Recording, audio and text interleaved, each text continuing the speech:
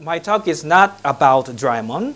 Uh, my talk today is about uh, mind mapping.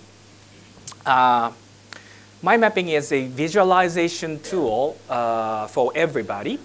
And uh, I would like to connect, I would like to show you how to use mind mapping in the context of software development, especially in agile uh, development.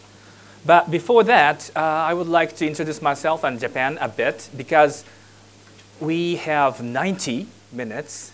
wow. So maybe I'll, uh, maybe it's going to be a, much, um, a little bit shorter, but um, I'll do uh, first part, starting with a, a introduction, my introduction, self-introduction, and I will talk a bit about Japan and Agile. And then go, I'm, I'm going to go into what is a mind map and why you are going to use mind map, the benefit you are getting from. And then I will do user wish mind mapping. That capture user's wish into user stories. And I will do some demonstration uh, with Satomi there. And uh, I'll do a conclusion.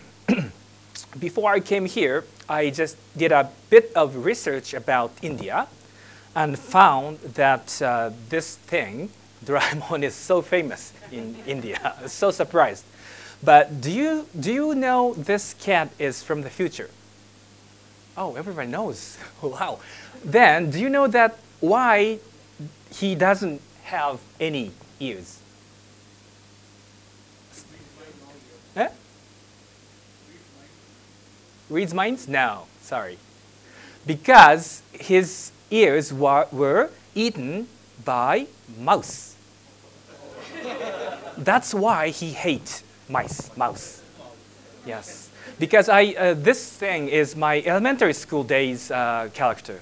I'm, 40, I'm 46 years old, but um, this thing was I, when I was six years old. So 40 years old character. I was so surprised. And also I will show you some interesting picture from Japan. This describes Scrum uh, in Japanese cartoon. Ladies, girls Scrum. Isn't it fascinating? Like this?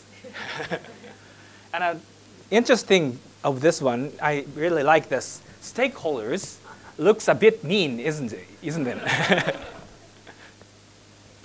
so we are good at cartoons, right? And to Japanese, or to me, India is like a yoga thing, and uh, Krishna, or um, uh, what's the elephant? Uh. Ganesha.